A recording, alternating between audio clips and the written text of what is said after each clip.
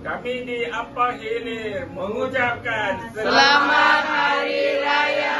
Aidilfitri maaf zahir dan batin. Doa ya.